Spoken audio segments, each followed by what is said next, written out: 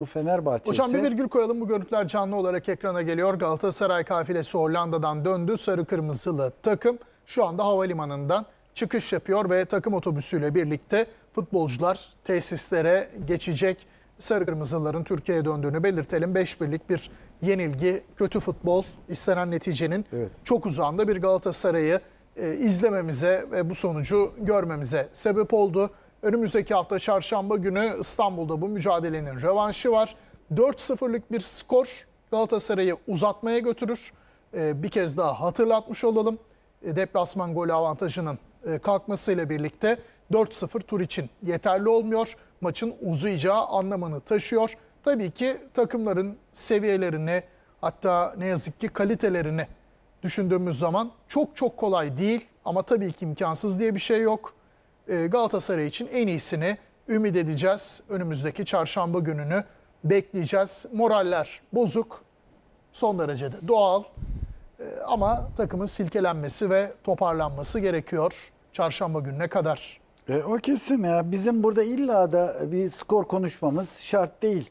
Yani 4-0, 6-2 uzatmaya götürür, 6-1 turu geçirir. Yani demin bir hedef koyduk. İyi oynamayı hedeflesinler. Evet. Kazanmayı hedeflesinler. Puan kazan, ülkemize puan ka- kazandırmayı hedeflesinler. O yüzden Fenerbahçe'ye geri dönelim.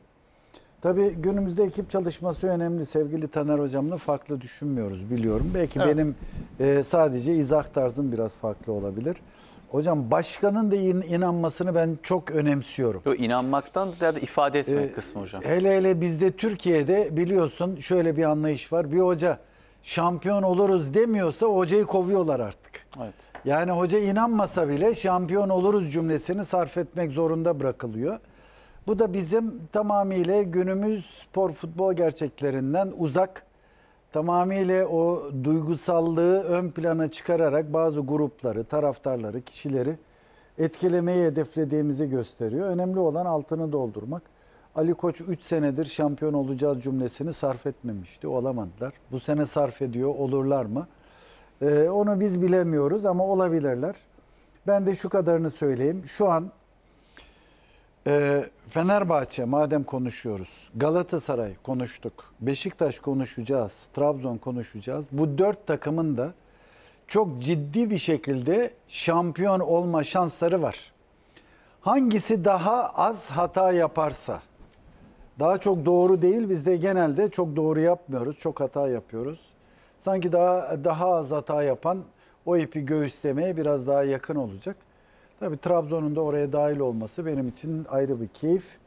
Yani Fenerbahçe konuşurken de Ali Koç Başkan eğer hoca ile bu konuda fikirlerini örtüştürür de takımın sek ve idarede e, e, futbolcuları gerekli olan o to- meşhur toplantıda söylediği gibi düşünmeye, yaşamaya, çalışmaya, Fenerbahçe'nin başarısı için özveride bulunmaya e, davet ederlerse veya o seviyeye getirirlerse o zaman şansları da artar. Galatasaray takım otobüsünün de havalimanından ayrılmak üzere olduğunu belirtelim. Bu görüntüleri canlı olarak ekranlarınıza taşıdık.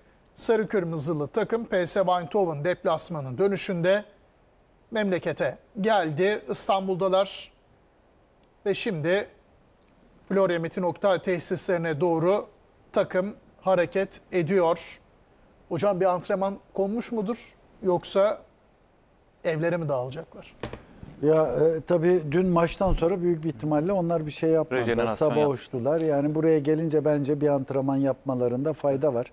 Gerçi Galatasaray için rejenerasyon antrenmanlarını önemser Evet, e, gerçi şu var. Kaldı ki dün oynamayanlar var. O Evet. oynamayanlara e, ayrı bir yüklenme lazım. E, hepsinin de eksiği var. Kaldı ki büyük bir ihtimalle yarını da e, dinlenerek geçireceklerdir. Galatasaray için artık lig başladı. Yani dünden itibaren Galatasaray arka arkaya her hafta ortası bir Avrupa Kupası maçı oynayacak. Öyle olduğu için de lig başladığı dönemde de haftada bir maçlarına Galatasaray şu an devam ediyor. Takımın eksiği de çok. Bunları giderme adına daha yapacakları çok şey var.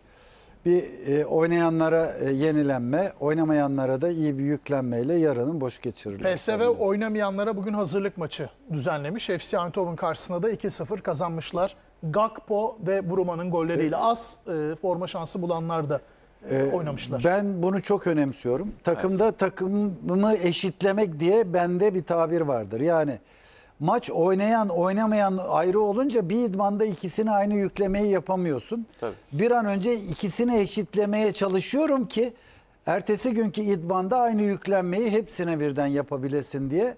E PSV'de demek e, veya ben PSV gibi düşünüyorum öyle diyeyim. Bence doğru yapmışlar. Aynı şeyi Fatih Hoca da bugün yapar. Roberto Mancini Avrupa Şampiyonası içinde yaptı bunu. Türkiye maçı e, hatta İsviçre maçı sonrasında sanırım Galler'le e, oynayacakları karşılaşmada daha farklı bir kadroyla çıkacakları belliydi. Turnuva içinde hazırlık maçı yaptırdı. Hiç aklımda yok bu. Kesin bilgi. Nasıl izin verdi UEFA buna?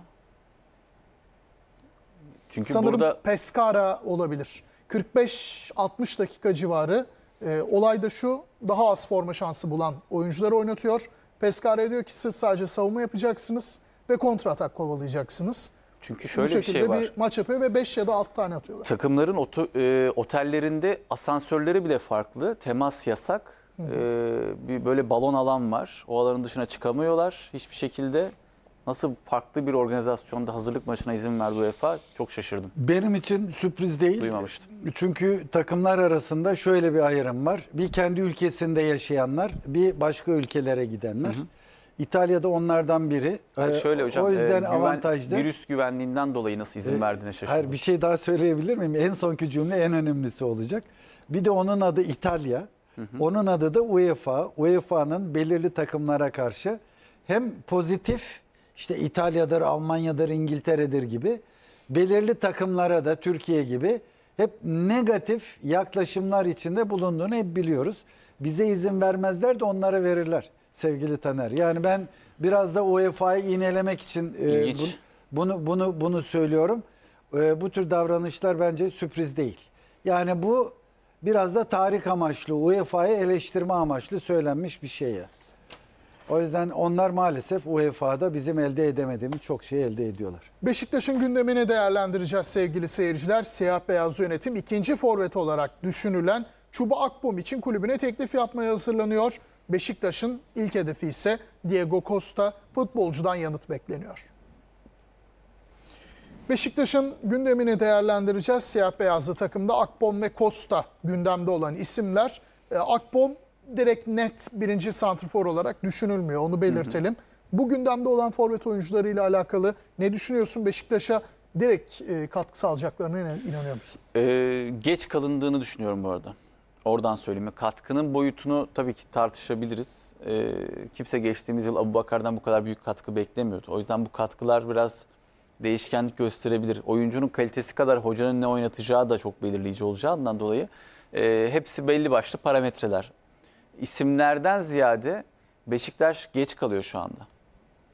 Yani her geçen gün sayaç işliyor, zaman kaybı yaşanıyor ve bir an önce bu transferlerin e, takıma katılması gerekiyor.